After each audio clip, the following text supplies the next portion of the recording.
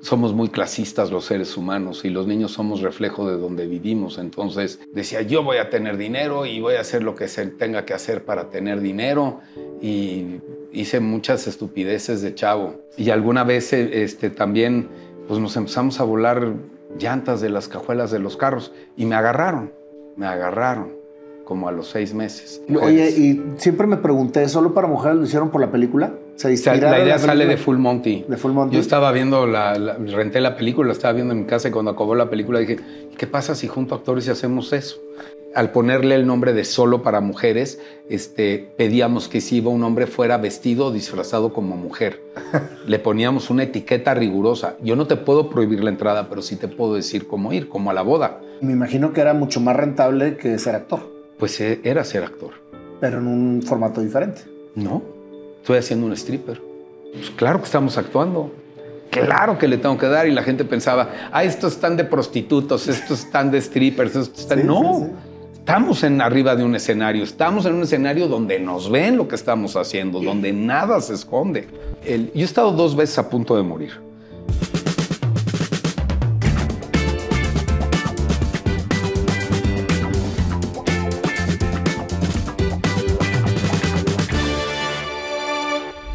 Alexis, qué gusto me da tenerte aquí. Ya. Desde que te conozco, bueno, antes te admiraba muchísimo por toda tu trayectoria. Me tocó conocerte en el curso de nuestro gran amigo César Lozano. Eh, maestro. Maestrazo. Y ahí me di cuenta la gran persona que eres, la sencillez que tienes y todo lo que vemos en la tele de que eres un villano que, te quiere, que todo el mundo te quiere ahorcar por, por lo bueno de tus papeles. Casi siempre haces papeles de villano, ¿verdad? Casi siempre, pero digo, Gracias, ya se nos dio platicar porque no nos habíamos visto medio mensajeado después del, curso con César Luzano, que se lo recomiendo a todo el mundo. No, no es para nada más conferencistas, o es, para la vida, es para saber comunicarte y saber hablar. Y algo que me dejó eso es conocer a alguien como tú, conocer otras personas, poder escuchar experiencias de vida de otra manera diferente, ¿no? La manera de abrirte en un escenario donde tienes que compartir cosas o personales o, o con tu experiencia personal tal vez de algún producto o algo, te hace vibrar a la gente totalmente diferente. Pero acá estamos, Nayo, y dispara. ¿De qué quieres platicar? ¿Qué? Pues es que mira, Alexis, para empezar, gracias. Gracias por darte el tiempo. Gusto. Todo el mundo te conoce, güey. Todo el mundo sabe que eres un actorazo de los, de los más legendarios de México que están ahorita vigentes, pero nadie sabe tu historia de vida en el sentido personal. ¿De dónde eres, Alexis? Yo nací en Estados Unidos. Eh, mi madre es cubana, nacionalizada americana. Mi padre ya falleció, él era mexicano. Se conocieron en los Estados Unidos, se casaron a los tres meses de que se conocieron.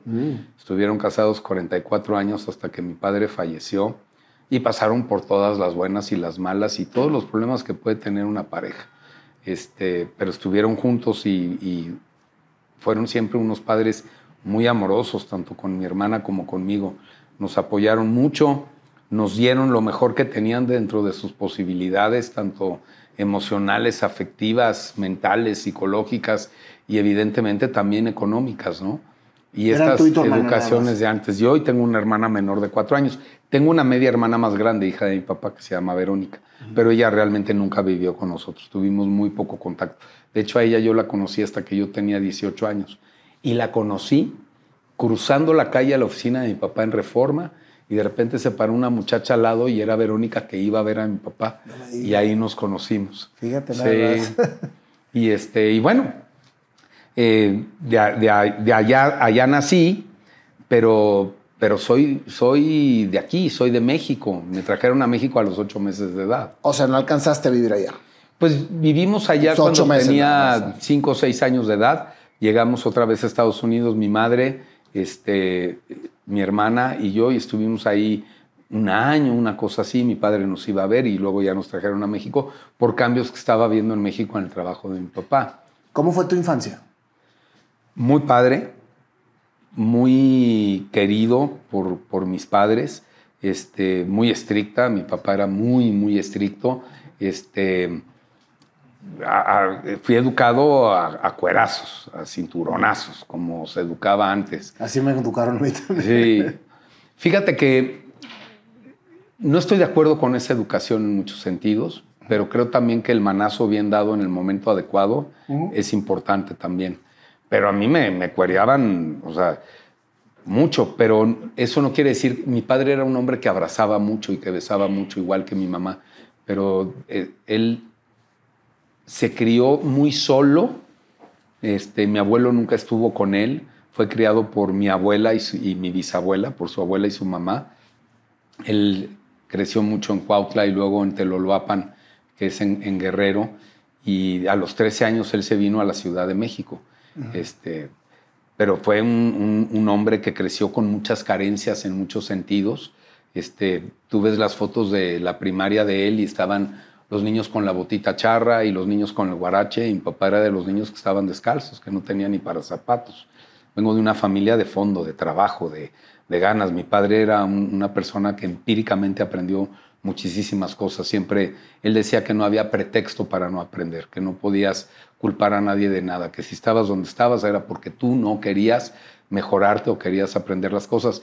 Y sobre esa línea, bueno, pues me, educó a mí y educó a mi hermana y era en muchas cosas muy estricto, ¿no? Y, y, era esta manera de, de, hacer las cosas, que no lo hacía por maldad.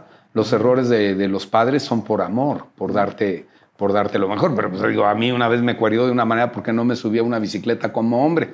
Me estaba subiendo como niña, según él, ¿no? Porque bajaba yo la bicicleta y pasaba y me decía, no, los hombres se suben, la echan a andar y andando pasan la pierna. Y no me pude sentar como en 15 días, me tuve que quedar en casa de una tía que era donde estábamos andando. Y, esas cosas me daban como mucho terror de repente, ¿no? Había una camisa que se ponía mi papá que era de rayas, azul, de manga corta, y cada vez que se la ponía me regañaba durísimo. Entonces se ponía la camisa. Y este, ahí viene el chingazo. Y ahí venía. pues porque yo lo provocaba también.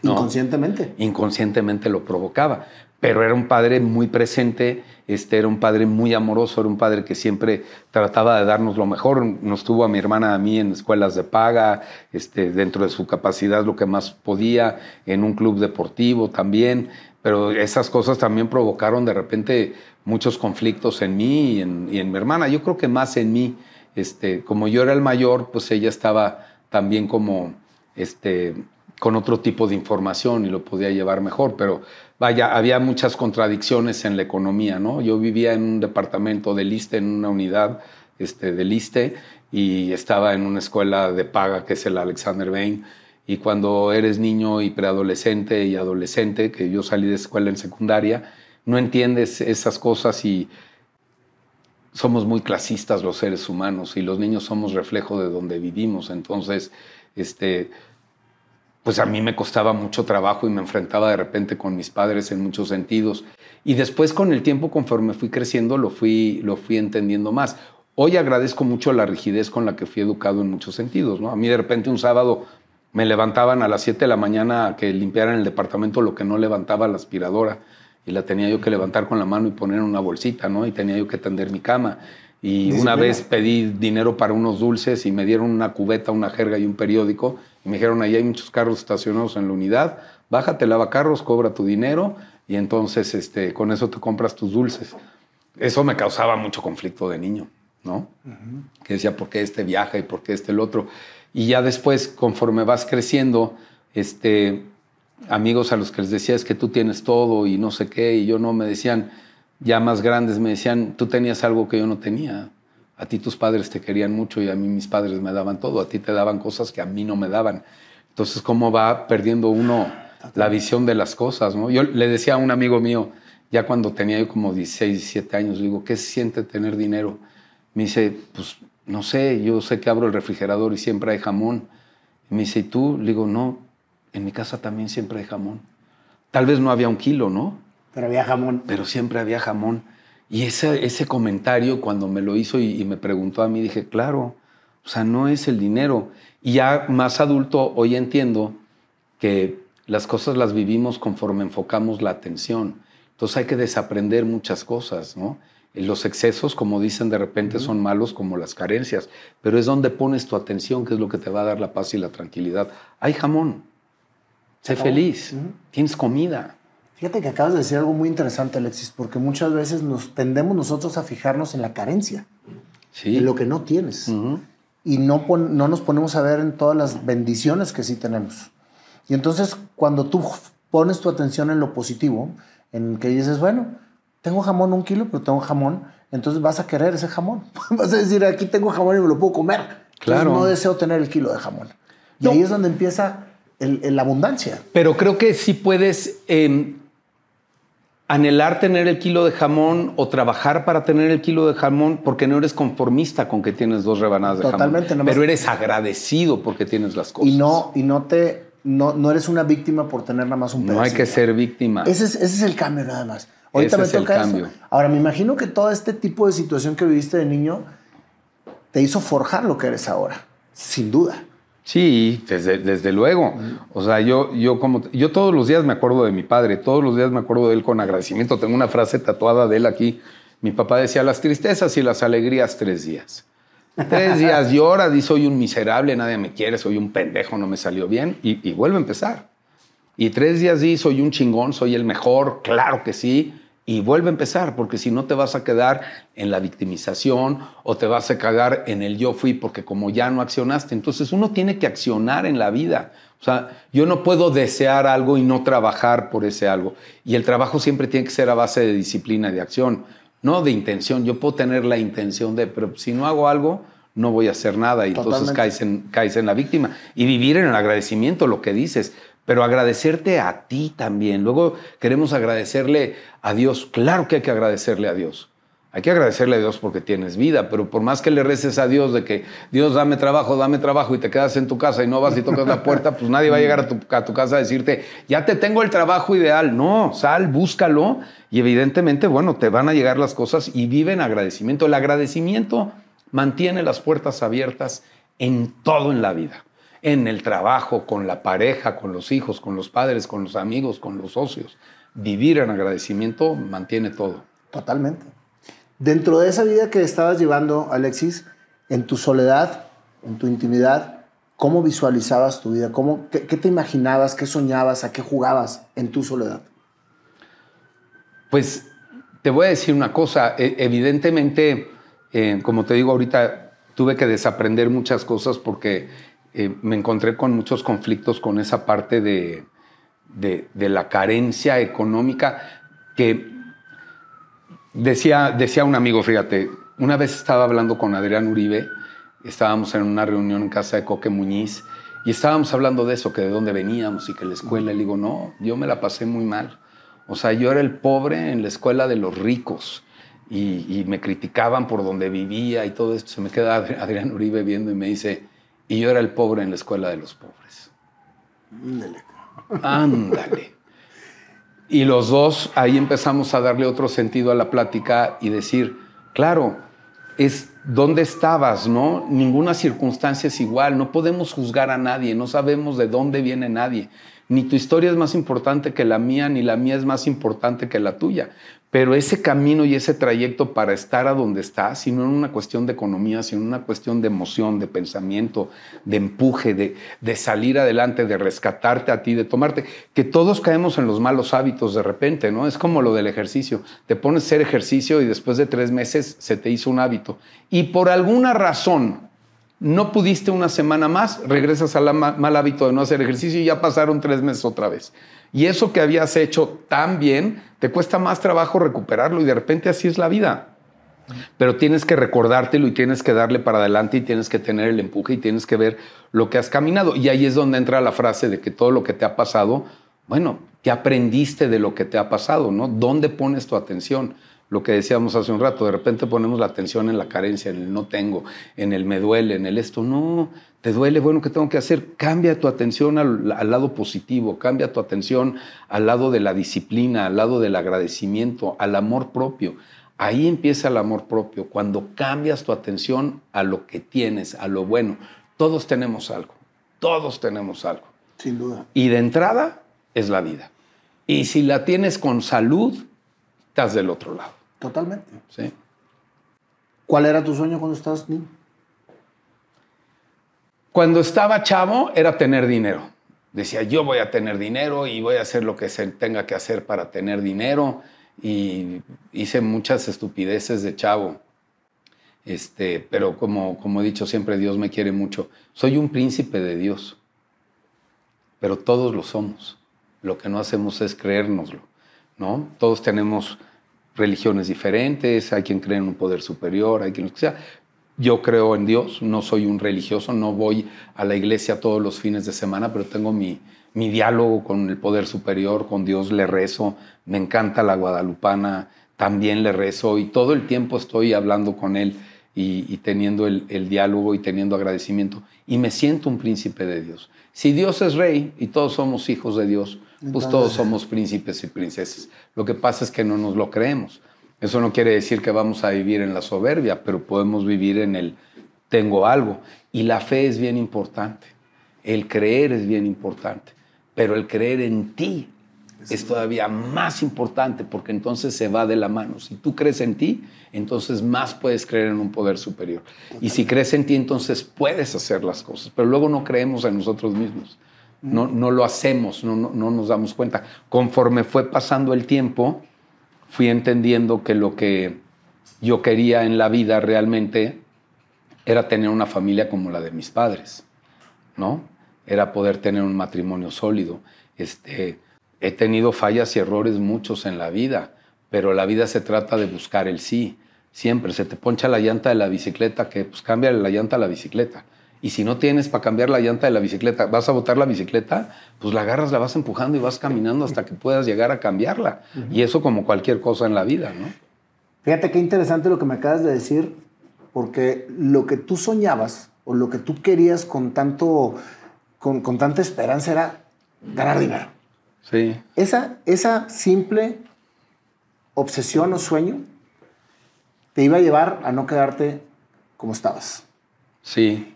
¿Por qué? Porque ahí cuando estás con una carencia, cuando estás continuamente viviendo en una situación, puedes quedarte ahí siempre, porque puedes encontrar la comodidad. Y lo que hizo tu padre, yo creo que fue un gran acierto.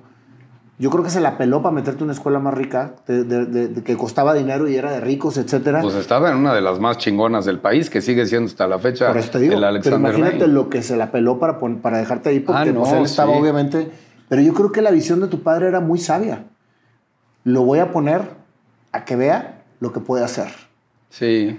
Y entonces, al momento de que te mete ahí, para ti fue, ¿por qué me metes aquí? ¿Por qué tanta incongruencia? Te tenían un club chingón, te tenían una escuela chingona. Y dices tú, ahorita yo te digo qué gran lección te estaba dando, güey. Porque se la estaba pelando por enseñarte un mundo que él no te podía dar al 100%, pero que te lo podía enseñar. Siempre me lo dijo, te voy a poner una alfombra en, una escala del 1 al 10, en donde yo pueda, el 2, el 3, tú tienes que irte de ahí para arriba y tienes que aprender a relacionarte con la gente y ver que hay otras cosas. Este, la, educación de, de, ser una gente educada, de ser una gente respetuosa y todo eso, eso me lo dieron mucho en la casa, siempre me lo dieron. Y, y, esta educación también de repente, yo no sabía que iba a ser actor, Digo, desde joven, Yo, yo decía, desde muy niño, ¿no? Veía siempre en domingo, decía, un día me van a ver ahí en la tele. Pero me inculcaron algo que creo que hoy en día también es una mala educación. El tienes que conseguir un trabajo para que entonces tengas el dinero, pero que entonces puedas hacer esto y entonces puedas tener una casa y entonces puedas... Eso es el sistema, eso es, lo que te Exacto, que hay una mala educación en muchos sentidos, ¿no? en las escuelas le va mal en las matemáticas y le ponen el maestro de matemáticas en lugar de darle el maestro de pintura, si era bueno para pintar. Que, haz de cuenta, mis padres a mí me han apoyado mucho siempre o me apoyaron mucho en lo que yo quería hacer y mi hermana también esos apoyos siempre los tuve. Pero de niño no entiendes esas cosas. Las vas entendiendo. No, lo entiendes, pero lo vas guardando. Lo vas guardando. Y no necesariamente como adulto lo vas a entender. Lo entiendes conforme vas recibiendo los madrazos de la vida que te da solo, porque son decisiones que uno toma. Uno no puede culpar a nadie de, ni de las personas con las que estás, ni de los trabajos a los que te metiste, ni de las inversiones malas que hiciste, porque además creo que a nadie nos enseñan tampoco a cómo manejar el, dinero, los dineros, cómo hacerlo, ¿no? Si no sé manejar mil pesos el día que gané diez mil, pues tampoco sabía cómo manejar los diez mil. No se trata de la cantidad que tienes, sino del manejo que le das. Y más cuando lo estás añorando a, toda, a toda costa. ¿eh? Claro, Porque de repente te vuelves loco, cabrón. Pues empiezas a vivir como rico, como dicen por ahí, para impresionar a gente que ni le interesas, ¿no? Y empiezas a tener carencias más grandes en la vida. Pero bueno. Así es. Bueno, entonces con esa conexión que ya me acabas de dar, que la verdad creo que es muy, muy poderosa, porque fue precisamente lo que, lo que hizo que te fueras guiando en el camino para lograrlo. te hizo cometer muchos errores, como me decías, en la juventud cometiste muchos errores mm. por querer lograrlo, ¿no? Muchos. ¿Cuál fue el que más te acuerdas que te causó problema? No, bueno, alguna vez lo dije en alguna entrevista, hace mucho que no lo digo, pero eh, cuando salgo del Alexander Bain en tercero de prepa, me meten en una escuela que era el Centro Universitario San Ángel, antes de entrar al INUMIC. Los últimos dos años de preparatoria los hice en el INUMIC. Y en el Centro Universitario San Ángel, que era una escuela de corridos, este, pues estábamos chavos. Yo sí tenía la atención de mis padres, pero yo me fui alejando ahí de mis padres. Empecé a tener otro tipo de amistades y de cosas. y, y de repente había unas chavas que eran más grandes que yo y que otro amigo mío que estaba en otra escuela, y, ellas fueron las de la idea y la iniciativa. Y nos decían, oye, ¿y si cobramos dinero para que estén con nosotros, ustedes que conocen a gente de otras escuelas? Y entonces lo hicimos en casa de un amigo, que no voy a decir su nombre, porque no me corresponde decir su nombre. Y entonces este, iban estas dos muchachas y entonces íbamos y decían, oye, este, ¿qué onda? ¿Quieres estar con una chava? Ándale. Y entonces teníamos ahí una botella de ron blanco también para no decir marcas y entonces nos íbamos de pinta y hacíamos eso en la mañana. Y alguna vez este, también pues nos empezamos a volar llantas de las cajuelas de los carros y me agarraron. Me agarraron como a los seis meses. Este, la patrulla 13015. la, la, te, la recuerdo. No, me acuerdo perfecto. Este, yo traía con, con, mucho esfuerzo que me había dado mi papá un Rolex que me lo dio a los 13 años, porque él me daba, me decía, hay símbolos de poder, mijo, hay símbolos de poder y tienes que cuidar los símbolos de poder, pero tienes que sabértelos ganar. Y el símbolo de poder también, me decía, es cómo te reciben en una oficina, te reciben atrás de la puerta, atrás del escritorio, se van a sentar contigo al frente, te invitan a la oficina si la tiene, qué sucede. Y había un libro, existe todavía, que se llama Power, ese me lo, me lo robaron, era un librito amarillo chiquito con letras rojas, que me robaron una mudanza, muchas cosas, y ahí se fue ese libro. Y él me hablaba de eso. Cuando me agarran eh, los patrulleros y todo esto, este, la persona del carro me había amenazado con una pistola, que fue el primero que nos agarró. Yo era menor de edad. Y, era un policía ya adulto el que estaba, del, el nombre de él, fíjate que nunca me he podido acordar. Y este, pues total, ya damos en la noche, vamos a la delegación, estaba aquí abajo de Avenida Toluca, yo le ofrecí el reloj, me dijo que no, me dieron como mis cachetaditas y todo esto, y acabaron hablándole a mi papá por teléfono, no había celulares en ese tiempo, el teléfono de la esquina, yo di el número, y llegaron mi papá y mi mamá, y, este, y ahí pues vino todo esto de, ¿no? ¿Y por qué lo hiciste? Y yo esposado y todo adentro de la patrulla, pues por dinero, ¿cómo? ¿Por qué más? Y muy pendejo yo. Y, y, mi papá, bueno, pues hizo lo que tenía que hacer. Al final no me metieron a la delegación. Si me hubieran metido, pues eso se hubiera seguido ya de oficio, porque pues era, era robo. Tampoco es que era un delincuente como tal, pero para allá iba. Y por eso digo que soy un príncipe de Dios y Dios siempre me cuida mucho.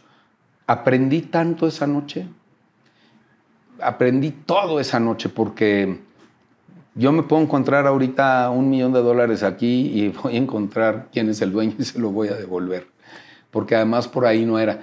Y ya que llegamos a la casa, al departamento donde vivíamos, en, la cajuela del carro que yo tenía, este, los carros que yo tenía me los vendía mi papá. Él compraba el carro, pero yo se lo tenía que pagar. Yo te digo, empecé a lavar carros a los nueve años y luego entré a los 14 a trabajar a una tienda que existía en ese tiempo que era Fotocontinuo de fotografía. Yo sabía mucho de fotografía porque mi papá además era fotógrafo, entonces me entendía muy bien. Me hice el mejor vendedor de la tienda y luego me empecé a ir mal en la escuela y luego me dieron en lo que era Reino Aventura, la gerencia de la tienda del pueblo vaquero y ya de ahí hasta que mis papás me sacaron ya estaba yo eh, este, saliendo de la escuela y entonces sucede este evento que te cuento. Y cuando llegamos a la casa, que ya tenía yo como esta cuestión de trabajar, pero yo decía, yo no voy a trabajar toda mi vida por un sueldito. Eso no, no es lo mío. Entonces, este, pues me agarran y ya hace mi papá lo que tiene que hacer, llegamos a la casa y, y fue la primera vez que vi llorar a mi papá. Este, porque mi mamá fue la que se metió a la patrulla y me dijo, ¿por qué lo haces yo por dinero? Por dinero, mi papá resolviendo. Y ya cuando llegamos a la casa, ya me quebré yo. Ya empecé yo a llorar y, y a decirle, papá, perdóname. Y él nada más me volvió a ver y se le salió así un par de lagrimitas de los ojos y me dijo, yo no me acuerdo de lo que hiciste, a ti que no se te olvide, ese no es el camino. Ese no es el camino. Y no me castigaron. Nada. Y yo cambié solito. Yo dejé de ver a estas personas, porque además cuando nos cayeron todo el mundo se echó a correr. Íbamos en mi carro. Pero bueno. Qué gran lección. Esa, esa, vaya, cambió toda mi vida. De ahí me metí a las artes marciales y acabé siendo instructor de artes marciales y todo eso. Y de ahí tuve mi primer acercamiento al cine, que fue con Valentín Trujillo, porque le daba clases a los hermanos de Valentín Trujillo y un día faltó un stunt. Y ya desde yo muy chavillo siempre les decía a mis papás que iba a estar en la tele.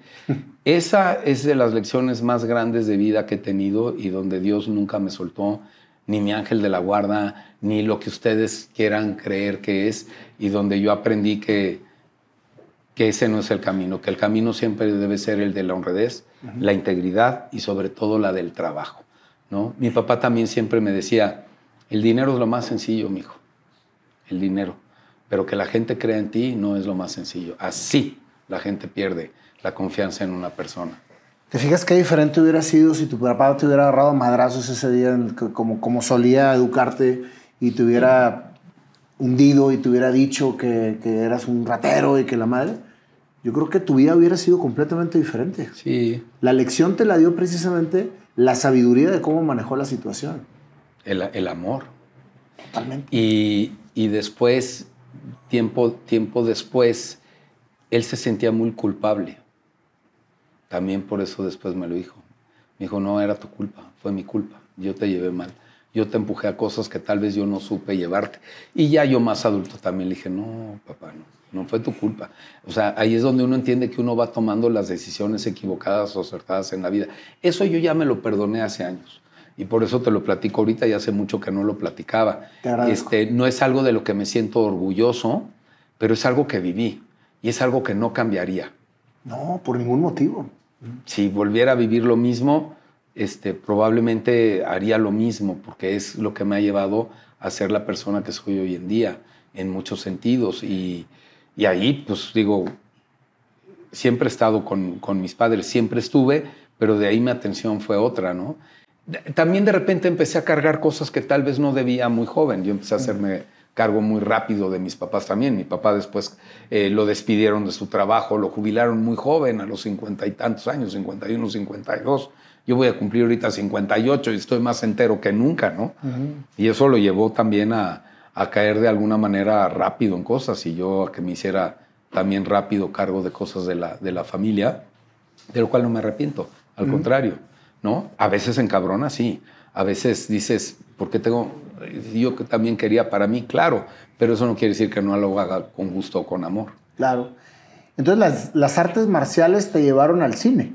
Las artes marciales me llevan al cine como stunt con Valentín Trujillo, con él hice dos películas. Y yo entro a Televisa por eh, empuje de mi mamá, porque cuando yo acabo la preparatoria, este, no, no tenía yo el promedio para la universidad. Tenía un promedio de siete ¿no? Este, no daba para algunas universidades, hice los exámenes psicológicos de la Ibero y de otras y, decían que era eh, nocivo para la población estudiantil por mis rasgos de liderazgo, me lo sé de memoria, entonces tampoco me aceptaban.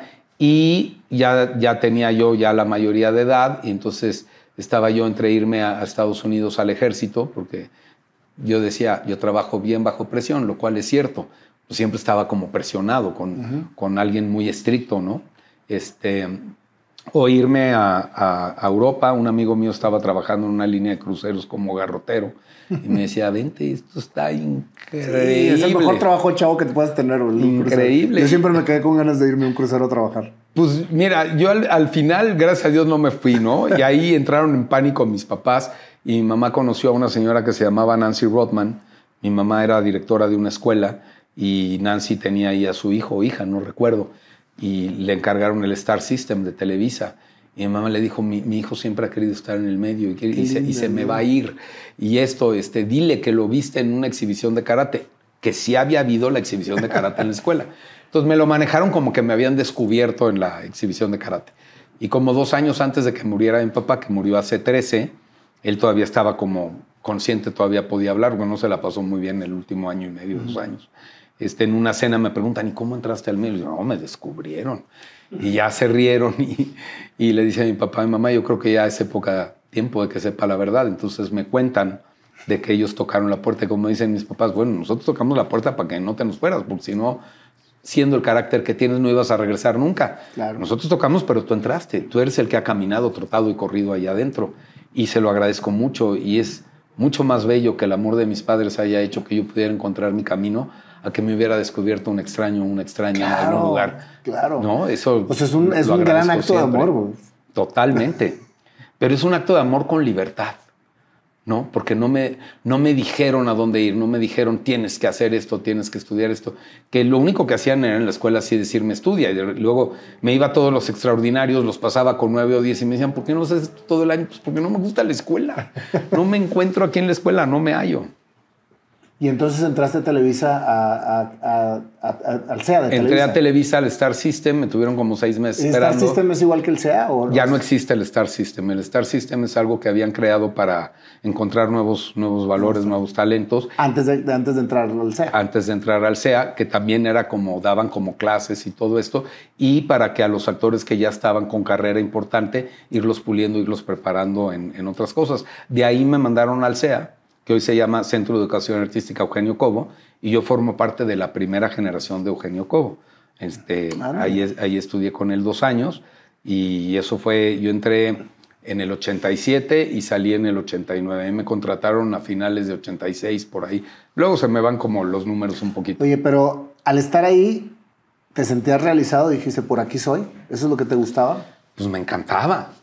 Sí, ¿no? Cuando, cuando hice lo del cine con, con, Valentín Trujillo, vi las cámaras y dije, wow, ¿qué es esto? y yo no actué. Yo lo que hice fue montar la coreografía de pelea y hacer parte de la pelea y, ah, doblar no a los actores. Ibas de, como stunt. Yo empecé como stunt ahí. haciendo las cosas de las peleas. Y Qué buenas eran las películas de Valentín Trujillo. ¿eh? Ah, súper divertidas. Y las de Rodolfo de Anda también, en paz buenísimo. Una personalidad de Rodolfo de Anda tremenda. ¿eh? él, era padre de uno de, mis grandes, grandes amigos, que se llama igual Rodolfo de Anda, que acaba de fallecer hace tres meses, falleció de, un infarto, pero de mis amigos de toda la vida, que lo conocí dándole clases de karate, junto con los hermanos de Valentín Trujillo. O sea, tú llegaste a ser karateca eh, eh, Dan. Cinta negra. Cinta negra, primer Dan. Ahí me quedé, ahí me quedé. Porque ya después entré a Televisa, tiene años que no, que no entreno, estudié con el profesor Jaime Delgado en su escuela que era Tlalocan, con él entrené y, me ha servido muchísimo. Ahí adquirí yo mucha disciplina también con las artes marciales.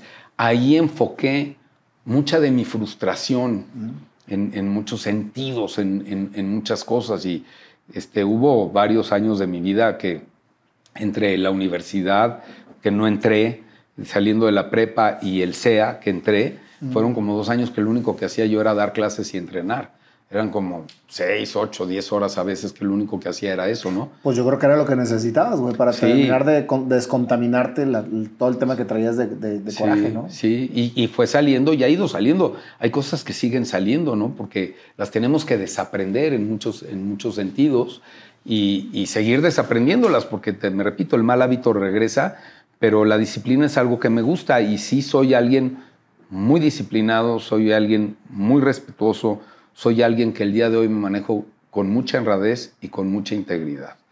Que no es lo mismo la honradez y la integridad. De hecho, hay una historia ahí que me encanta, ¿no? De, platícamela. La del hombre que está en un motel y le entregan una caja de, pizza y cuando abre la caja de pizza está llena de, de, dólares. Y entonces habla a la pizzería y le dice, oiga, me hicieron una entrega que no es correcta.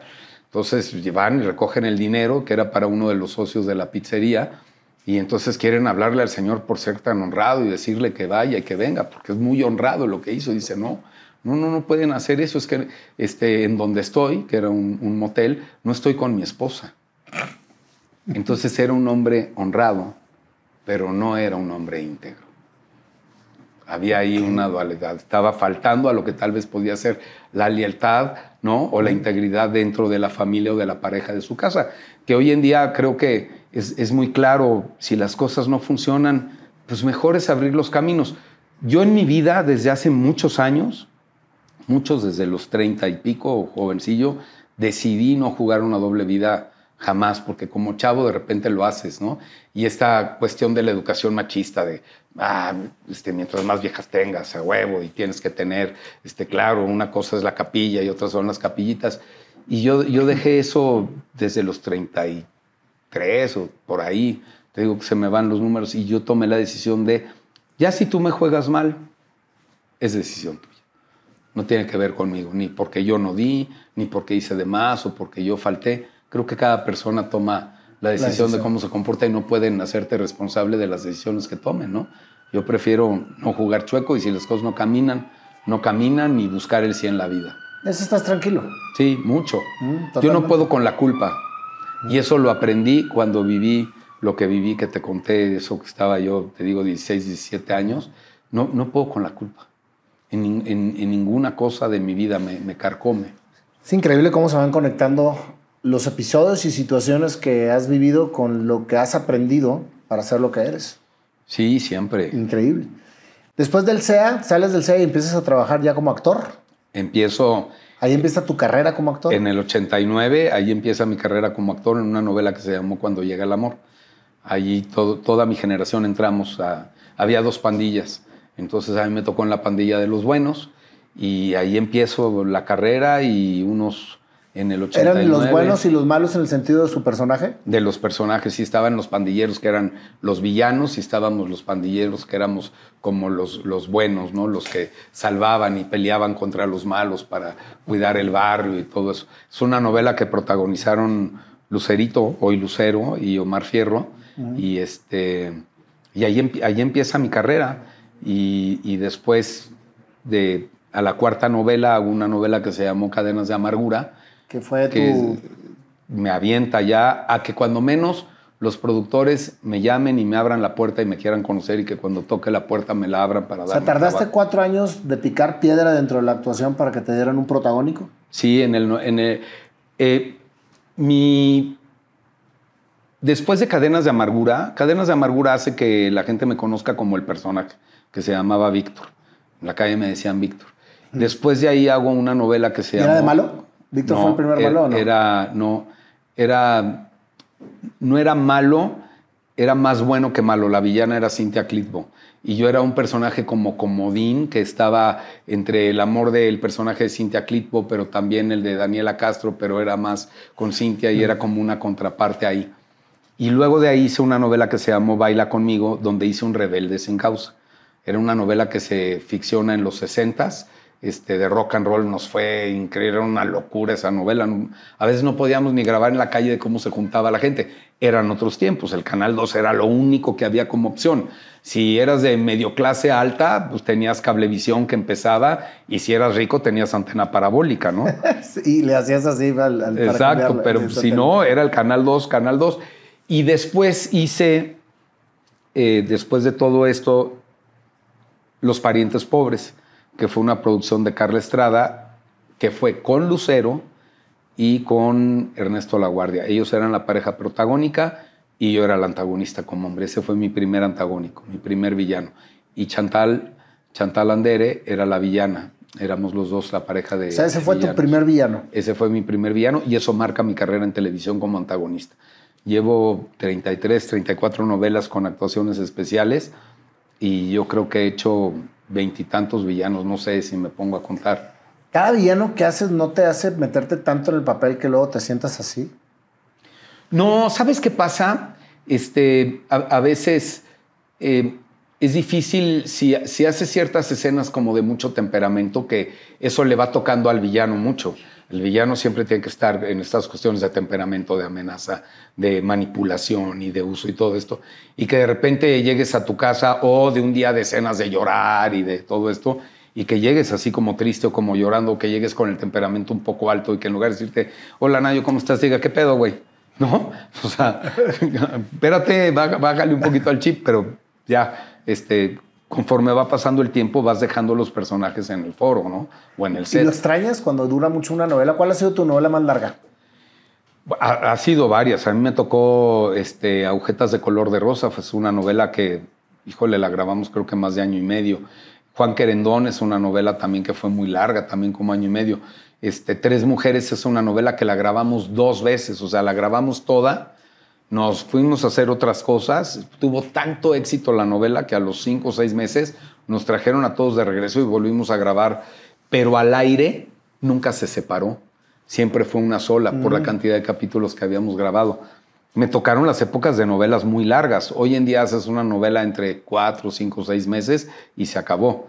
Ya pareciera que hay más trabajo, pero este está más competido o competido de otra manera, ¿no? Eh, el público está muy segmentado entre los podcasts, las redes sociales, este, las plataformas, los canales de televisión de paga, los canales abiertos. El público está muy segmentado, entonces captar la atención del público es como, como más difícil. Evidentemente ya en mi edad hay nuevas generaciones que vienen y de repente estas generaciones dicen, pues, ¿qué onda con Nayo? Ah, sí, ¿quién es? ¿No? Sí.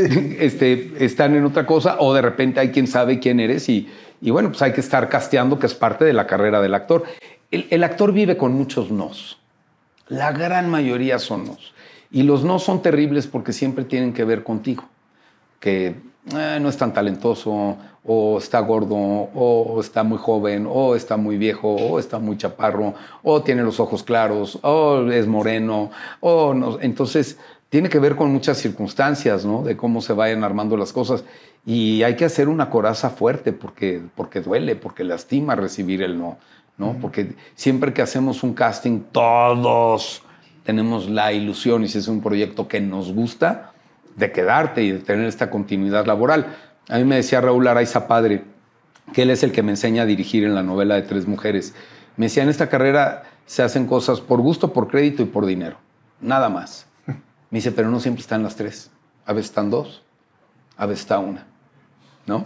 Pero eh, es una realidad que esto es un trabajo. Claro. Y que uno trabaja para llevar comida a la casa y hay que hacerlo. Entonces también de repente el no es, híjole, ¿cómo, cómo llevo cosas? ¿Y cómo, cómo, cómo, cómo las personas pueden lidiar con los nos? Cuando estás tan acostumbrado a recibir nos, ¿cómo lidias con eso para no darte el bajón? Pues el bajón llega. El bajón llega por supuesto que llega. Y nunca, nunca lo entiendes porque además eh, un actor sin ego no, no funciona. Tienes que tener un ego que te ayude a impulsarte a verte mejor, a esforzarte más, a hacer las cosas, o sea, a tener una, una disciplina.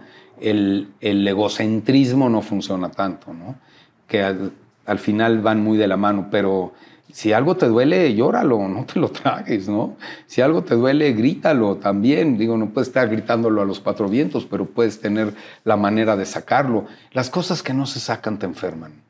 Hay que, hay que sacarlo y hay que decir, bueno, si no fue esta, vendrá otra y hay que tocar puertas.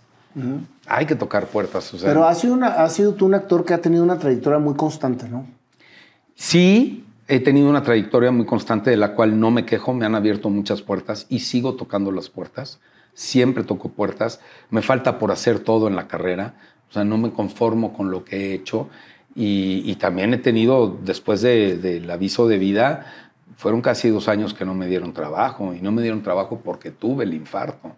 Eso lo entendí después. Y luego se juntó un poco con la pandemia. Entonces es como raro, ¿no?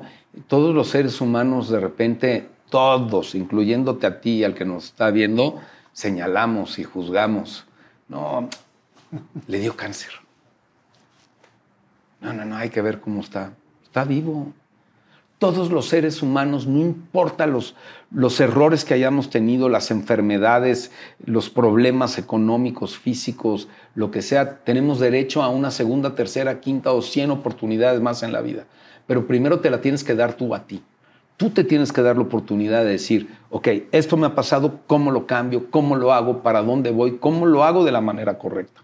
Que se caiga todo en la vida menos uno, lo que te hablaba hace un rato. Tratamos de sostener las cosas, pero no nos sostenemos. Yo sé por qué me dio el infarto.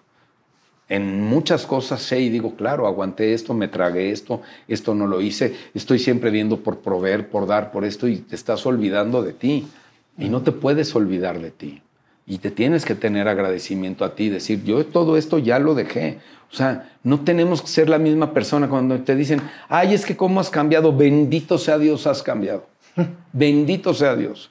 Y has cambiado para bien, porque eso lo tienes que ver tú en ti. Y si para otras personas ya no cambiaste para bien, para ellos es mala tarde para ellos, no para ti. Claro. Camina. El tema es tenerlo claro y consciente. Exactamente de entre tanto trabajo, de haber cumplido tu sueño, de haber empezado a ganar lana, porque empezaste a, cumplir tu sueño.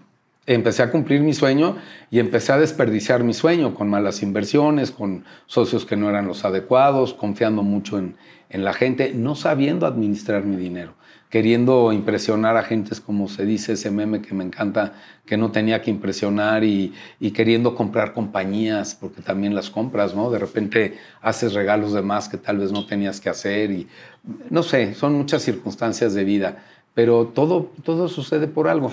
Tuviste una vida rockstar. En algún momento sí, bien padre.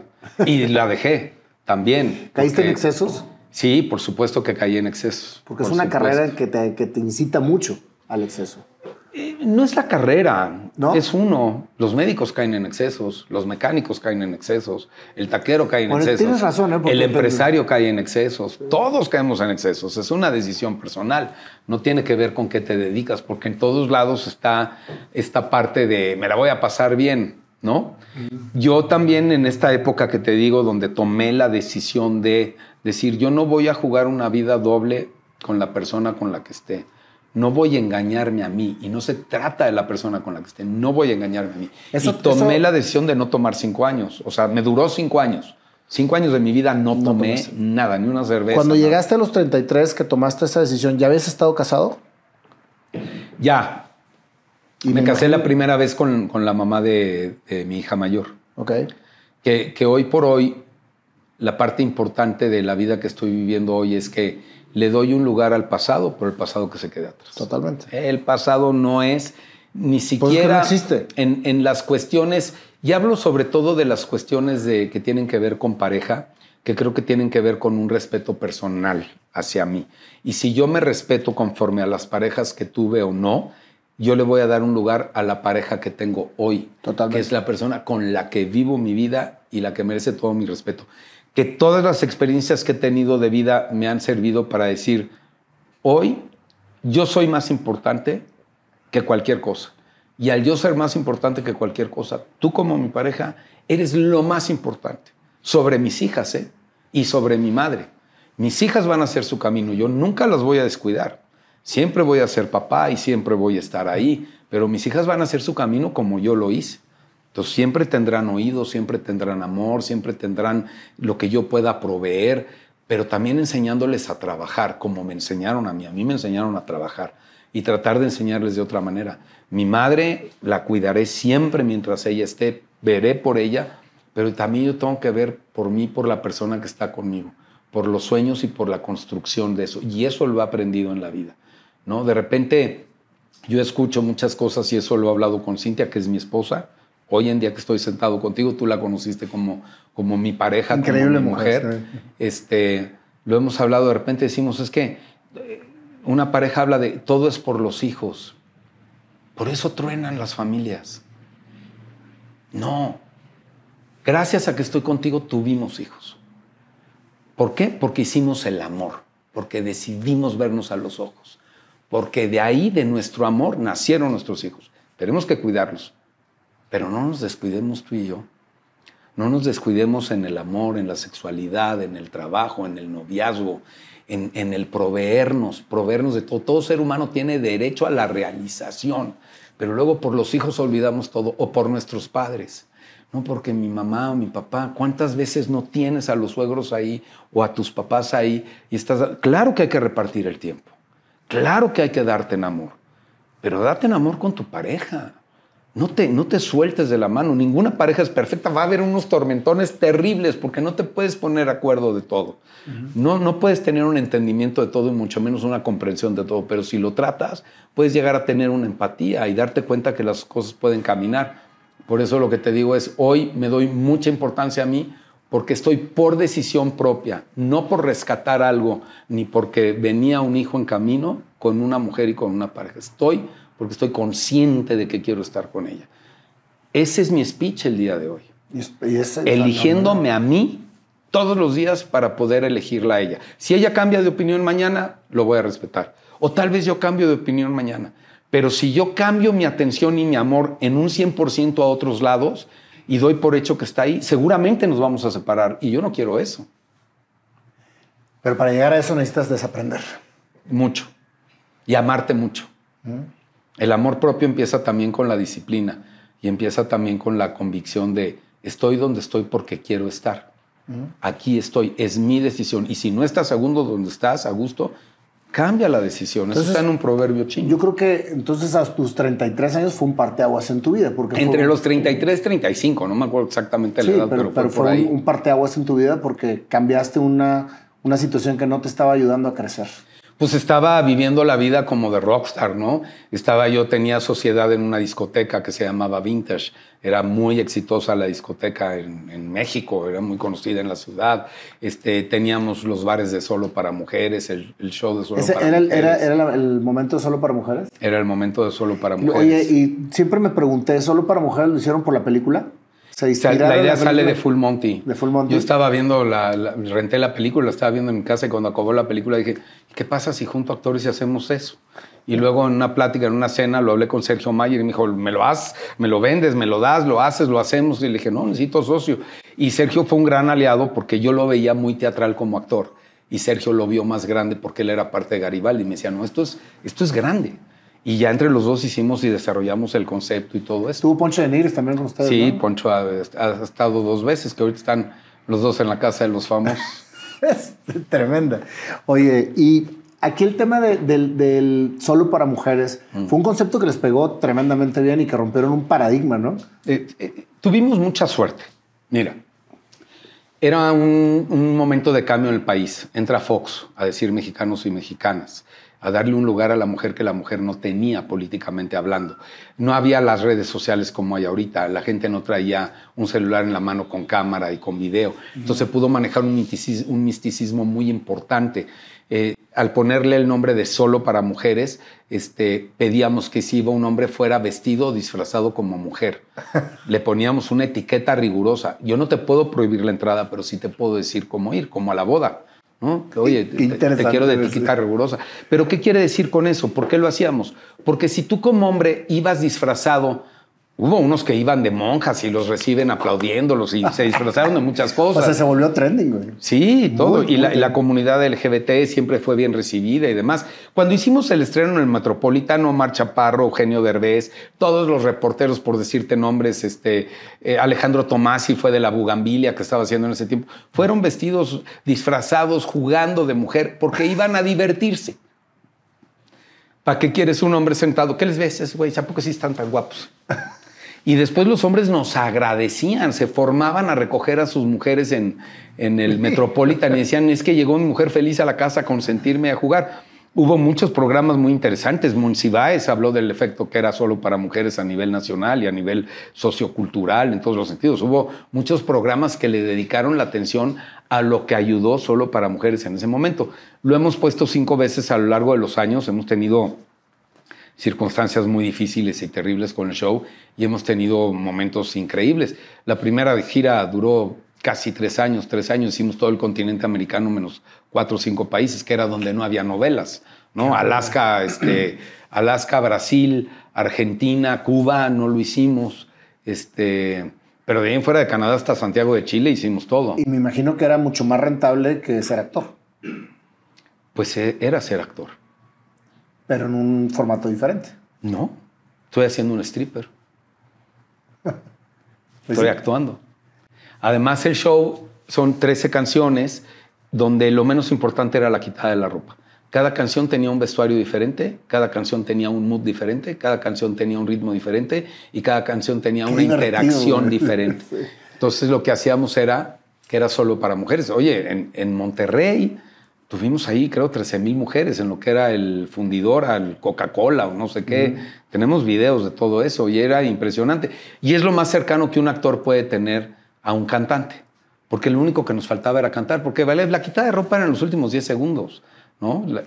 Pero era como un equipo de fútbol. Había que entrenar, había que hacer dieta. Lo manejábamos y lo seguimos manejando con mucha disciplina, porque la línea era muy delgada. Si tú estabas, eran 11 para bailar 8 al principio y después eran 11 para bailar 6, nos dimos cuenta que con 6 se podía y los íbamos alternando y los íbamos rolando. El público nunca sabía quién iba a bailar de los que estaban anunciados. Lo descubrías conforme estaba el show, porque el primer número era vestido como monjes con una máscara y entonces volteabas y te descubrían con la cámara y venían los gritos y videos.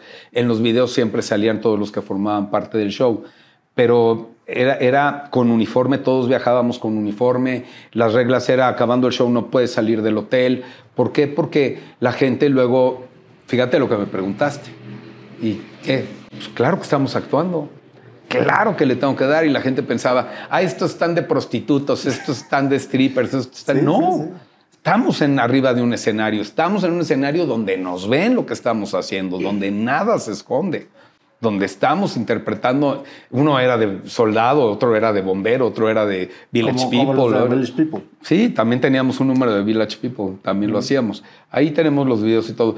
Creo que solo para mujeres va a tener un poco de sorpresas, espero, en los próximos dos años, no sé, porque tampoco es sencillo hacerlo y necesito que Sergio salga ya de la casa de los famosos. o sea, ¿lo, siguen haciendo por temporada solo por mujeres? La última vez que lo hicimos fue en el 2017, desafortunadamente nos fue muy, muy mal. Fue uno de los mejores elencos que, que hemos tenido. Estaba David Cepeda, Manuel Palomares, por decirte a dos de las personas. Teníamos a 17 de elenco. Pero el día que estábamos haciendo el ensayo general, tuvimos el terremoto en la Ciudad de México. Entonces eso paró todo. Un país con un terremoto en la capital, pues cambia todo. Entonces todas las fechas que teníamos programadas se cayeron. Solamente hicimos las, las tres fechas que teníamos en México, en el Centro Cultural con Alejandro Gou, y además lo tuvimos que hacer, lo tuvimos que recorrer de septiembre a noviembre, porque ya no había como otras fechas. Era el puente de Día de Muertos una vez que vino el terremoto no se vendió un solo boleto más. De hecho, hubo gente que pidió el regreso del dinero de su boleto y ahí se quedó. Un show espectacular. Ese, ese show en particular lo desarrolló y, y lo diseñó en un 100% Sergio. Él me dijo, déjame, y la verdad hizo un show espléndido, sensacional, al César, lo que es del César, y en agradecimiento total. Siempre hemos tenido esta comunicación y esta honradez y esta integridad entre nosotros, que se me hacen palabras muy importantes en la vida de somos dueños los dos de, del concepto, de la marca de esto, y a la hora de que lo vamos a hacer es puedes, no puedo, yo tengo, tú no tienes, yo lo hago y después nos ponemos de acuerdo. Ok. Pero ahí está. Fíjate que cuando encuentras socios con los que haces bien las cosas, siempre harás cosas con él. Siempre. Es él y Rodolfo de Anda, que en paz descanse. Con Rodolfo de Anda Produjimos juntos El Pantera, que fue una serie de televisión a la que nos fue increíble. Luis Roberto Guzmán era nuestro protagonista, él era el Pantera. La última temporada, de hecho la tercera, la dirigí yo por completo, que al final fue un rebote, porque también cuando vino la tercera temporada vino la influenza, entonces ahí tuvimos que, que cambiar a los directores porque muchos no querían y yo acabé dirigiendo toda la tercera temporada. Con Rodolfo también trabajé mucho. Con las demás gente siempre he tenido mucho lío. Ah, sí. Pues es lo que te digo, cuando haces algo, o sea, cuando hay un bonding, mm. no te quieres separar de ahí. Pues es como la pareja. No, y todo el mundo tiene que trabajar y tiene que aportar, ¿no? Porque también nos sucedió cuando hicimos una empresa que se llamaba La misma gata revolcada, que después se la quedó, se la quedó Rodolfo. ¿Por qué la misma gata revolcada? Pues porque no vamos a invitar a inventar nada. Pero a la gatita la bañas, la peinas, le pones un moño rojo y es una gata diferente. El, nombre. Sí, ese, ese nombre era, era muy bueno. Cambia el ritmo de tu vida, cambia el camino de tu vida, empiezas a, encontrar, dejaste cinco años de tomar, ¿no? ¿volviste, ¿volviste más fuerte o no? No, al contrario. Es que dicen que cuando De repente me echo mis pachangones, me los echaba ya hace, hace mucho que ya no, no agarro fiestas como tal, así de desvelarme tanto, demás. Y también tiene mucho que ver la gente con la que te acompañas. ¿No? La gente con la que tú te pones a aullar y ellos empiezan a aullar contigo, o otro empieza a aullar y tú empiezas a aullar con él o, con ella, como sea. Este, hoy, hoy en día, Cintia me acompaña mucho en ese sentido, me empuja muchas cosas muy padres. Ella tampoco no es mucho de tomar de repente, si nos hemos agarrado nuestra fiesta en algún viaje o algo, pero eso me encanta de convivir con ella, que no necesitamos estar exacerbados para romantizar, para hacer el amor para disfrutar la cena. De repente es una cena donde estamos tomando suerito los dos y nos comiéndonos unos ostiones y tenemos una comunicación maravillosa. Pero creo que todo lo que he vivido en mi vida me ha llevado a poder estar viviendo lo que vivo con ella. Y como lo he dicho muchas veces, ella no es el amor de mi vida, he tenido 20 amores de mi vida. Ella es el amor en mi vida. Es muy diferente ese concepto. Ella me ha enseñado a valorar el amor, ella me ha enseñado a valorarme a mí, ella me ha dicho muchas veces, ¿tú qué quieres? Deja de pensar en lo que yo quiero, dime tú qué quieres.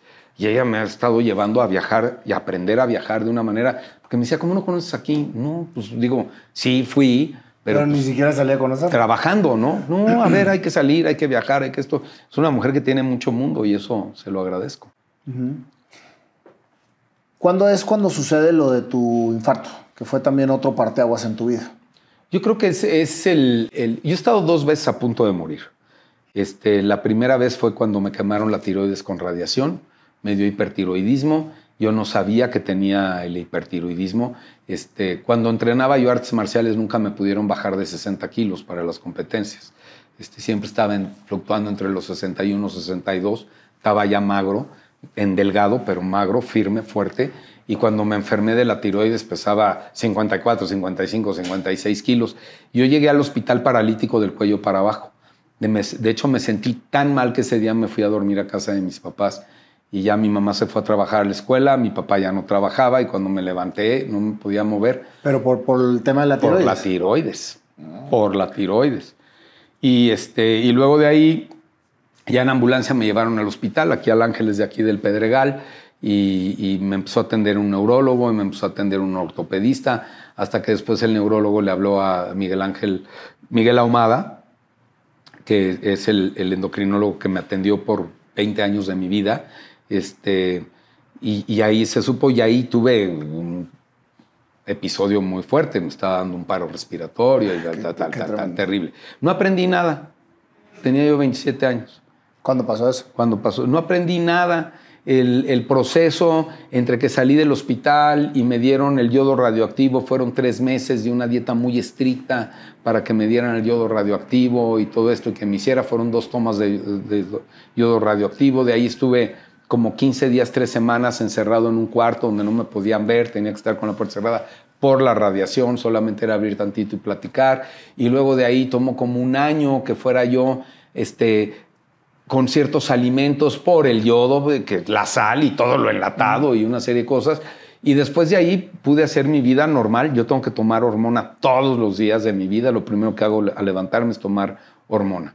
Este, y tengo que dejar pasar de entre 25 y 40 minutos, según, para poder ingerir cualquier otra cosa que no sea agua o cualquier otro medicamento. Y no aprendí nada, al contrario, de ahí este, fue cuando empecé a entrar como en esta época de rockstar y no sé qué, y, demás, mucho trabajo, muchas cosas. Yo pensé que me estaba dando todo eso y que había llegado así porque estaba yo trabajando mucho y estaba ya como empezando esta época de, de, de, relajo.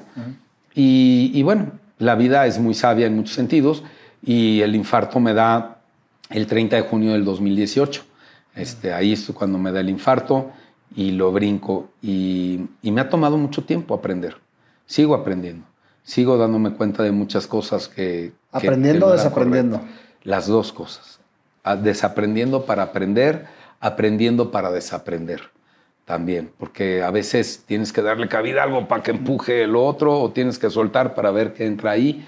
Y ahí voy y creo que estoy viviendo más bonito que nunca este, tengo mis sacudidas terribles, las sigo teniendo. De repente, ¿no? Me regresan pensamientos que no son tan buenos, me regresan a veces circunstancias, decir, ¿por qué hice esto? ¿Por qué acepté esto? Pero por eso me repito, lo de atrás se tiene que quedar atrás y poner la atención en el hoy, en el ahorita. Mi momento más importante es este. Porque ahorita estoy aquí. Y es el único que existe. Ahorita, y se acabó. Fíjate qué importante es cuando, cuando haces consciente lo que debes de cerrar en tu vida para poder liberarte y estar bien. Porque yo creo que todo lo que me has platicado hasta ahorita, yo, a mí me tocó conocerte, lo poco que tengo de conocerte, me tocó conocerte en una etapa de, muchísima profundidad, porque mm. tuvimos un retiro de casi tres días en donde, donde expresamos muchas cosas y, me di cuenta la paz que tenías, Alexis. O sea, la, la paz con la que estabas expresando. Y, la realidad es que esa paz no se da más que, más que madurando y más que poniendo en el lugar que tienes que poner a cada persona que ha pasado por tu vida. Sí, y, la inmadurez también de repente hay que dejarla que esté, que se quede. Mm. Hay que dejar que la inmadurez de repente vibre y, disfrute. Una, una, gran diferencia que veo ahora en mi vida, no sé si es de madurez o inmadurez, pero lo veo yo más como, como realidad de mi hoy es que yo ya no vivo mi vida como si fuera el último día de mi vida. Eso es algo que nos han enseñado a todos. eso es hacer referencia a la muerte. Voy a vivir como si fuera el último día de mi vida. ¿Y por qué me voy a morir? Y además voy a hacer pendejadas. Sé que voy a chocar y voy a acelerar. ¡Ta madre! ¿Por qué no mejor vivo mi vida como si fuera el primer día de mi vida? Con todo lo que sé. Siempre decimos, ¿por qué no sabía esto a los 20? Pues no lo sé a los 20, pero lo, sé hoy. Y entonces lo tengo que aplicar hoy. Y si aplico mi día como si fuera el primer día de mi vida, cuando abro los ojos y me doy el chance como los niños que así viven su vida, como si fuera el primer momento, todo se convierte en la vida en una primera vez. No importa cuántos trabajos hayas tenido, no importa cuántas empresas hayas tenido, no importa cuántas parejas hayas tenido, no importa cuántos hijos hayas tenido, todo lo que vives se convierte en una primera vez si tú lo quieres ver así. Y eso te da capacidad de empatía, de asombro, de alegría, también de tristeza y de frustración, pero de darle la vuelta porque enfocas la atención en otro lado. Y yo trato de vivir así y eso es hacer referencia a la vida. Yo quiero vivir, quiero estar aquí y quiero vivir en alegría y quiero vivir en entusiasmo. Y no son palabras y no son frases hechas. Uno tiene que hablarse así. Yo todos los días decreto, todos los días me veo al espejo y cuando no me veo al espejo y hablando contigo ahorita digo, soy guapo, soy atractivo, soy talentoso, soy carismático, soy buena persona, soy alegría, soy entusiasmo, yo soy abundancia, yo soy prosperidad en esto y pido con agradecimiento. No, no digo, Dios mío, por favor, dame dinero, sino gracias por el dinero que tengo y porque tengo la oportunidad de estar y gracias porque me das la capacidad de salir adelante a buscarlo y gracias porque, porque tengo la salud necesaria para enfrentar y para hacer las cosas, pero son diálogos que tienen que estar constantes en nosotros y eso sí nos cambia la química. El sonreírte, ¿no? El, verte, estoy triste, ve al espejo y empiézate a sonreír y vas a acabar carcajeándote. ¿De verdad? Definitivamente. Pero fíjate lo importante que es trabajar en ti y no buscar en otras personas o el externo lo que piensas que te hace falta. Sí. yo creo que es un gran error de los seres humanos cuando te sientes vacío, dices, es que necesito una pareja. Y llegas con la pareja vacío. Sí. ¿Y qué sucede? Pues que te vas a vaciar y vas a empezar a ver la, vida de la pareja y nunca te vas a llenar. O tienes la pareja, no estás vacío y de repente te empiezas a vaciar con la pareja porque te estás vaciando tú. Porque entonces algo, otra cosa no te llena. Entonces ya tengo la pareja, pero no tengo el kilo de jamón en el refrigerador. Y entonces empiezas a ver lo que no tienes en lugar de ver lo que tienes. Si vemos lo que tenemos, muy probablemente vamos a vivir más bonito y más tranquilos. Siempre nos vamos a voltear a lo que no tenemos, ya es una condición humana, pero también podemos regresar la mirada a lo que sí tenemos. Nosotros somos libres de poder hacer ese switch. Ese libre albedrío. El libre albedrío de pasar de ser víctima a superhéroe. Porque estás tomando todo lo malo que te pasó y que te dolió para ser mejor. Por eso existen los superhéroes, güey. Pero el superhéroe debes de ser para ti, no para otros. Totalmente. Porque cuando estás siendo superhéroe para los demás, vas a acabar derrumbándote. Te, va a llegar la kriptonita. Totalmente. Sí. ¿Qué sigue para Alexis Ayala? Vivir. No queda de otra. Lo único que sigue es que yo cuide mi salud, que esté en salud, hago cosas que de repente dañan mi salud. Cuando, cuando me dio el infarto, de repente me dice el doctor, ah, esto no, esto no, esto muy leve. Le dije, a ver, doc, doc, doc, doc, sí, dime todo lo que tú crees que ya no. Pero te voy a decir una cosa, no viví para no vivir. Y no quiero que me vuelva a pasar. Estoy muy consciente de que no quiero que me vuelva a pasar. Me voy a dar mis, mis descansos, me voy a dar mis fugas, me voy a dar esto, pero sobre todo me voy a estar abrazando siempre. Y tengo un gran doctor que es Luis León Arrieta. Ese salvó a Jorge Salinas y Jorge me lo puso a mí y me tiene vivo y me checo con él cada seis meses. Creo que la vida es para disfrutarse, me repito, como si fuera el primer día de la vida. No por eso, no porque me voy a echar una copa de vino contigo o una botella, ¿me entiendes? Lo voy a hacer para que me ponga yo re mal y todo. No, hay que saberse escuchar el cuerpo y saberse medir y, darse de repente... La negación es el fruto del deseo también. Si tú estás dile y dile a tus hijos, no vayas, no hagas, no esto, lo van a hacer. ¿Por qué no mejor darles la opción de, si haces esto, ¿qué crees que pueda pasar? ¿Esto o esto? ¿Tú cómo lo ves? Y que venga un entendimiento propio. Y es lo que tenemos que hacer también con nosotros. Entonces, de repente, ¿qué es lo que te digo que me encanta con mi mujer, ¿no? Que nos sentamos y a veces este, pedimos una copa de vino, sí, y se quedó. Y a veces sí, nos hemos tomado entre los dos la botella, que son las menos, pero es una parte padre, ¿no? Hay, muchas cosas en la vida que nos dañan. Fíjate que... Comer hamburguesas diario, pues, Sí, pero no te limitas a hacerlo, más bien entiendes y concientizas lo que te va a generar hacerlo. Trato de elegir mi batalla, trato, que nunca sabemos cuál puede ser la última batalla. Por eso vivirlo con alegría. Hoy es el primer día de mi vida. ¿Hasta dónde me vas a dar chance, Dios? ¿Hasta dónde me doy chance yo también? Aquí estoy. Vivirlo con ganas, con alegría. Y si viene la tormentota, órale, que se mueva el barco, pero hay que estar tranquilo, seguro y firme. A más problema, más tranquilidad. Siempre me lo decía mi papá. Lograste tu sueño. Hiciste lana. Fuiste actor. Aprendiste de absolutamente todos los errores que cometiste. Y no.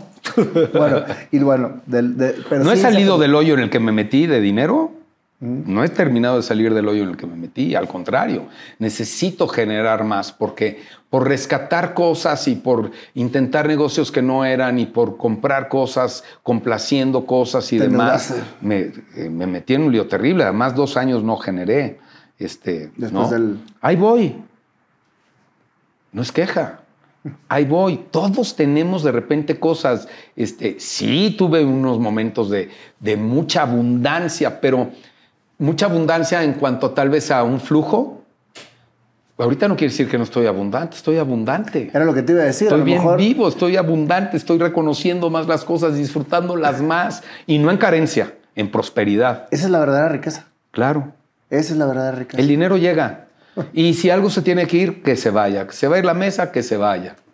Vámonos. ¿Qué le dices a los chavos que como tú están en el barrio, güey? Quieren, tienen sueños, quieren salir quieren ser diferentes. Que pongan la atención en lo positivo, que, que, se dejen de conmiserar, que dejen tal vez de ver es que no me queda de otra. No podemos echarle la culpa a ninguna circunstancia de donde estamos, era lo que te platicaba de mi padre. Mi padre salió de estar, de no tener zapatos, a llevarme a una gran escuela mía, a darme zapatos, a que nunca me faltaran, a, a darme una disciplina, a darme una constancia. Es bien fácil culpar las circunstancias, a la gente, al jefe, al esto, al otro. No, está en nosotros hacer las cosas, está en nosotros aprender. Hoy en día, el celular, el TikTok, hay muchas cosas que ver en TikTok, no nada más. Yo subo un chorro de tonterías porque es lo que le gusta a la gente, ¿no? Este, yo como actor, que de repente me dice mi mujer, sube tutoriales de actuación o sube cosas. Le digo, tal vez en un momento, pero ahí hay podcasts interesantísimos, pedazos de podcast, hay clases de cocina, hay, puedes aprender todo, te metes a la red social que sea y hay cómo aprender, hay dónde leer si te metes al Google. Hay muchas cosas que preguntarle a la gente. Hoy, hoy los que no aprendemos es porque no queremos. Y hay que, hay que buscarle, digo, uno siempre puede buscarle y trabajar. O sea, todo trabajo es digno. Así es. El que quiere puede. El que quiere puede, nada más hay que poner el dedo en el renglón. ¿Qué quieres? ¿No? La intención no basta, hay que poner la acción. Si no pones acción, no llega nada. No suceden las cosas. Y paciencia, prepárate a los nos. Toda la vida tenemos nos, todos, en todo. Que no te frustre. Así es. Muchas gracias, Alexis. Muchas gracias, por esta gran historia que no conocía y que ahora que la conozco, la realidad es que mis respetos, brother. Ah, gracias. Por todo lo que has pasado. Y te vamos a hacer tu canción. Ah, ya me habías dicho de eso, sí, a ver. Vamos a ver qué nos trae el panda para hacerle su canción, que ahora viene vestido de panda. Ok. ¿Qué onda? Mi querido panda. Oye, estoy impresionado porque lo vi y dije, no me vaya a madrear porque siempre sale de malo en las novelas. Sí, pero en las novelas, pero cuando, es, una cuando un pan me de pagan, de Dios, ahora que si me paga te madreo. Por eso no hay problema. Oye, Se puede sí, convertir en malo sí, en chinga. También le saben los madrazos. Oye, no, en serio, o sea, es un pan de Dios, señor. Todo lo contrario, está en un papel que, que todo lo contrario. Pues eh, que Gracias, eso es más gracias. meritorio todavía, güey. Sí. Que seas tan bonachón y tan buen cabrón y que vayas a, a hacerle mal. Bueno, vamos a ver, mi querido panda, la historia de Alexis, de menos a más. Órale, pues un blusecito. Pero pues, vamos a empezar Así como- tranquilitos. ¿eh? Sí.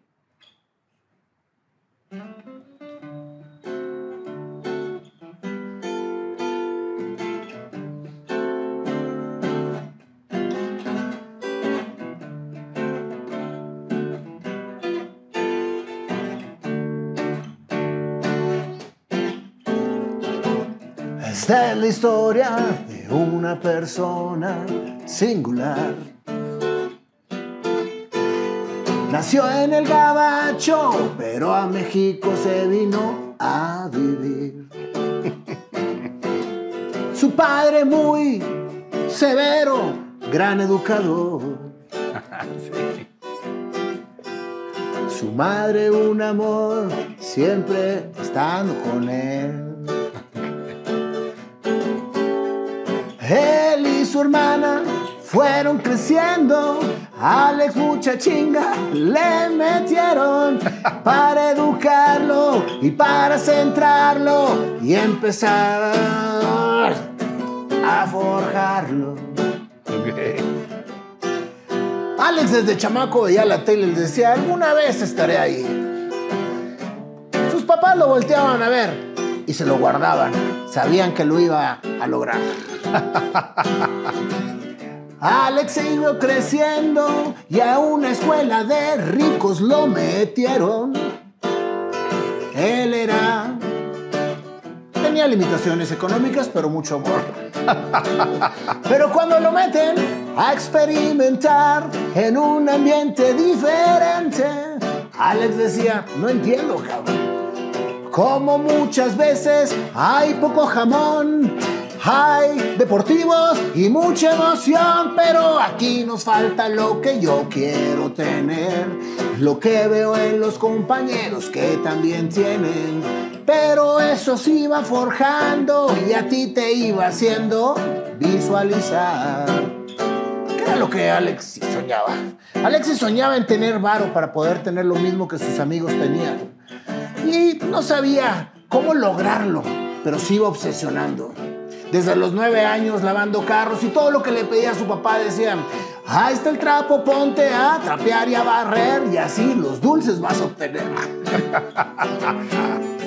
La vida pasó, Alexis se logró. Iba pasando el tiempo y a la prepa llegó. Su obsesión era tanta que empezó a hacer muchas cosas y de repente con malas compañías se topó. Esas malas compañías lo llevaron a hacer barbaridades para obtener, pero la obsesión lo llevó a la acción. Un día tocó piso. Lo agarraron. ¿La patrulla? 13015. 13015. Fíjense nada más. El número de la patrulla lo tienes consciente. Y lo que pasó esa noche también. Porque lo más duro fue decepcionar a tu papá. Tú ibas completamente asustado porque varias, varias friegas te había acomodado. y el viejo te dio una gran lección. Yo ya no me acuerdo lo que pasó, pero tú nunca lo olvides.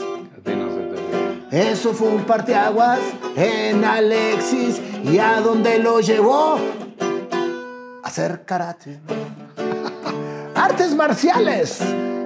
Toda esa ira que él tenía lo enfocó en aprender, en sacar toda la energía, aprendiendo a karatear. Ahí conoció a unas personas que al cine lo llevaron.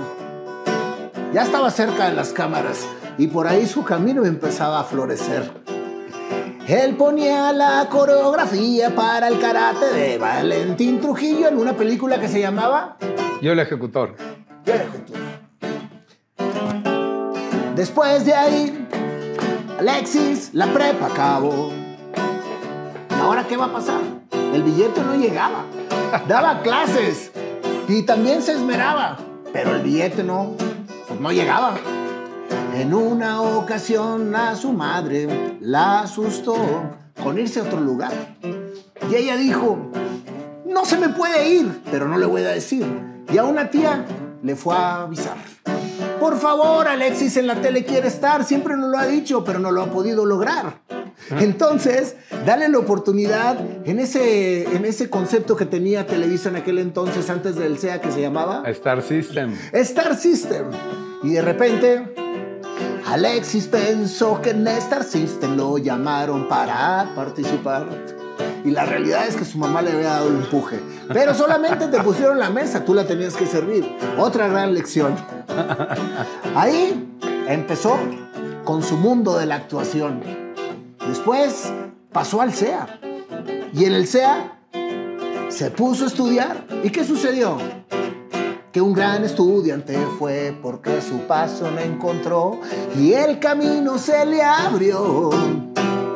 Del CEA salió cuatro años, se tardó haciendo papeles para su primer protagonista o papel fuerte, que fue en esta novela que se llamaba Cadenas de Amargura. Cadenas de Amargura, pero no era el, el villano, no era el antagonista, era un personaje bueno.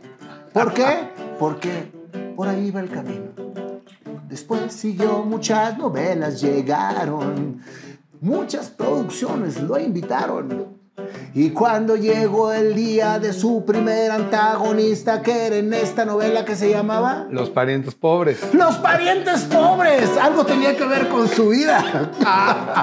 Pero bueno, la vida así es. Y ahí se fue su primer anta- antagonista y aparte salió Chantal Andere también, ¿no? Chantal Andere, Lucero y La Guardia. Lucero y la Guardia. Sus compañeros que después le enseñaron todavía más. De todo aprendí este hombre. ¿eh? Todo. Absorbiendo total toda su actuación. Muchas novelas hizo. Pero llegó la ambición, llegó la lana y el despilfarro también. Vida de rockstar. Despilfarrado ya todos quería comprar. La lana llegaba y así se iba, porque Alexis todavía no estaba preparado. Pero seguía. Entre sus 33 y sus 35, piso volvería a tomar. Se cayó hasta abajo y dejó de tomar. Y aprendió una gran lección. Ya solo una reina habría y no reinecitas. Su mundo cambiaría y siempre él adoptaría una integridad. Como el cuento de las pizzas. No nada más ser honesto, sino también íntegro. Y la integridad es vivir como tal. Ya van dos lecciones que aprendiste en tu vida. No volviste a robar. Fuiste un gran hombre y muy sincero y ético y a todos ayudar. Y después, en esa etapa, tu vida por completo iba a cambiar. Estabas en un show de solo para mujeres. Mucho éxito y abundancia. Eras socio de bares y discotecas en donde todo el mundo quería estar. Vaya rockstar, pero qué lección la vida te vino a dar. Ya te habían dado una lección tremenda que no quisiste adoptar. Cuando te quemaron la tiroides y te fuiste a punto de morir, pero nada aprendiste. A ver si ahora seguías con lo mismo. La vida siguió, Alex creció y eso sí, la lección aprendió. Y de repente se le vino otro madrazo. Le falló el corazón. A punto estaba de morir. Dos años se quedó sin actuar. Ya nadie lo quería contratar. Pero ¿qué sucedía? Que tú estabas creciendo continuamente y aprendiendo. Y desaprendiendo que es una gran lección. Acomodando a todos en su lugar. Perdonando y venerando a papá. Todo lo que fue ya pasó. Solo existe el hoy. Lo que vendrá yo no sé qué será, pero la vida voy a disfrutar. Así renació, a Cintia se juntó. Una gran pareja complementándose, ya con madurez y vivencia que los hace disfrutar, amar, la vida disfrutar. Y eso es lo que Alexis nos vino a enseñar. ¡Ya se acabó! Qué bonito, hablaste de todo lo que hablamos. Así es, esas historias, Muchas muchas gracias. canciones. Muchas gracias. Qué padre, gracias, gracias, Gracias gracias. a ti. Gracias, gracias. Gracias a ti. Padrísima, la disfruté mucho. Y, yo- y nosotros disfrutamos mucho tu historia. Gracias por contar- contarla, por abrir tu corazón como lo abriste y por dejar una historia de inspiración para los que todos están buscando todavía su pasión. Pues no sé si de inspiración, pero es parte de mi historia. Claro sí. Gracias, mi querido Alexis. Gracias. Corte, gracias chicos.